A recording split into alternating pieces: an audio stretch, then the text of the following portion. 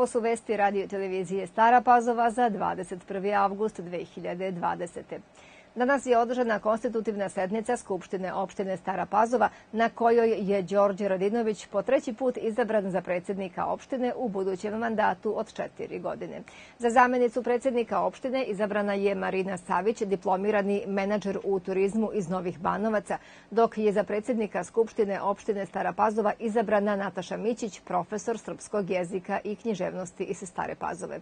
Za ove odluke glasala je vladajuća koalicija koju čine odluke odbornici liste Aleksandar Vučić za našu decu, 37 odbornika. Ivica Dačić, Socialistička partija Srbije, Jedinstvena Srbija, Dragan Marković Palma, 5 odbornika. Zajedno ove dve liste će imati 42 od 53 odbornička mesta. Preostalih 11 odbornika pripadaju opozicionim listama i to grupa građana, pokret za opštinu Nova Pazova, Ana Pejović, Stanković, tri odbornika. Zelena stranka Dušan Kandić 2, grupa građana Podunavlje 2 i grupa građana Izbor za našu opštinu Milan Turanjanin 3 odbornika.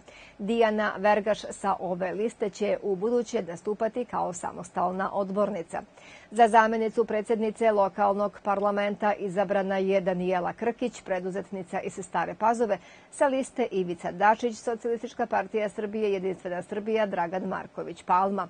Izabrani su i članovi opštinskog veća Dušan Sarapa, Slaviša Kostić, Jezdimir Ašćerić, Radoje Blagojević, Zdenko Gašić, Goran Jović, Andrijana Ristić, Vladimir Petrović i Dejan Kastić.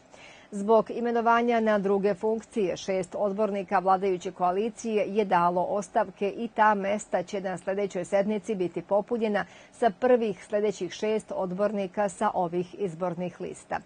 Izboru najvažnijih organa vlasti prethodila je verifikacija mandata odbornika. Svi odbornici, članovi opštinskog veća, predsjednik opštine, zamenica predsjednika opštine, predsjednica skupštine i njena zamenica položili su zakletve. Sednica je održana u velikoj sali Bele zgrade uz poštovanje svih propisanih epidemioloških mera.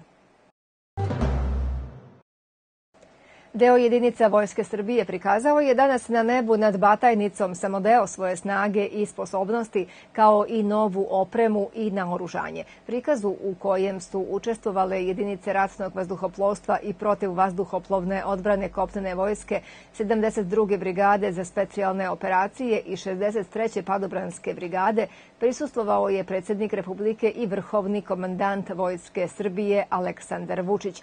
Prikazu sposobnosti prisustvovali su i ministar odbrane Aleksandar Vulin i načelnik generalštaba Vojske Srbije general Milan Mojsilović. Krizni štab je doneo odluku da u ponedeljak budu otvoreni bioskopi i pozorišta. Zamenica direktora instituta Batut Darija Kisić-Tepavčević rekla je za RTS da će te ustanove biti očišćene do ponedeljka s obzirom na to da nisu radile duže vreme. Kada su u pitanju preventivne mere, to su sve one mere prilikom boravka u zatvorenim prostorima, navela je Darija Kisić-Tepavčević. Precizirala je da je reč o fizičkoj distanci i nošenju maski. Prodava imaće se duplo manje karata nego što je maksimalan kapacitet sala, a prema posljednjim podacima u Srbiji broj novozaraženih je 169 osoba, dok su tri osobe preminule. Predstavnici Socijalno-ekonomskog saveta početkom naredne sedmice zvanično će započeti pregovore o minimalnoj ceni rada u 2021. godini za oko 350.000 ljudi dogovoreno je na današnjem kolegijumu SES-a, a rečeno Tanjugu, u Uniji poslodavaca Srbije. To su dogovorili predstavnici sindikata, poslodavaca i Ministarstva za rad, kaže počasni predsjednik Unije poslodavaca Srbije Nebojša Atanacković i dodaje da će već u ponedeljak biti formirane radne grupe za pregovore. U nedelju 23. avgusta ove godine na trgu dr. Zoran Đinđić biće održan humanitarni bazar kako bi se prikupila sredstva za lečenje Stefana Subotića iz Belegiša, kome je za nastavak lečenja u Nemačkoj hitno potrebno 40.000 evra, a do sada je prikupljeno 26.000 i po. Nosilac organizacijonog dela akcije je Udruženje Tatamate, a zainteresovani mali proizvođači udruženja i organizacije koji žele da učestvuju kao prodavci treba da se jave njima na Facebook stranicu kako bi obezbedili dovoljan broj stolova za izlaganje. Izložena roba će se kupovati tako što će se novac uvacivati u kutije gde će moći da ostavi koliko može i želi. Pozvani su svi građani da dođu na bazar na trg od 10 do 14 časova jer prodajom i kupovinom svako pomaže Stefanu da pobedi opaku bolest.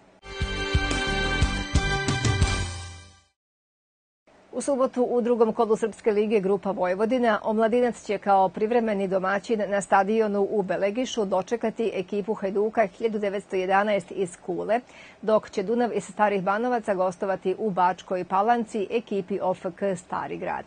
U nedelju jedinstvo će u Staroj Pazovi dočekati Dinamo 1911 45 iz Pančeva. U drugom kolu Vojvođanske lige Grupa Juk u nedelju će futbaleri Radničkog iz Nove Pazove igrati u Novom Sadu protiv Indeksa. Podunavac će u Belegišu dočekati slogu iz Temerina. Jadran iz Golubinaca će u Rumenki igrati sa jedinstvom, a Sremac će u Vojki ugostiti slobodu iz Donjeg Tovarnika.